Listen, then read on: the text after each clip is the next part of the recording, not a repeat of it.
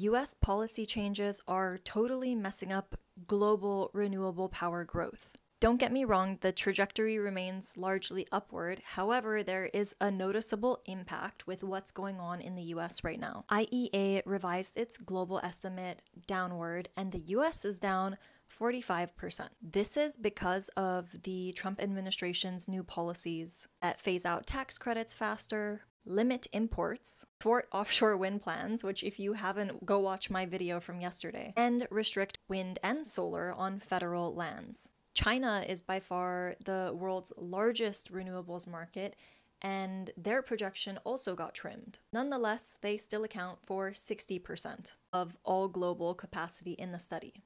So, the good news overall global renewables capacity is projected to double by 2030, adding another 4,600 gigawatts. However, challenges remain, including things like grid integration, supply chain vulnerabilities, and financing. And these challenges may just continue to increase.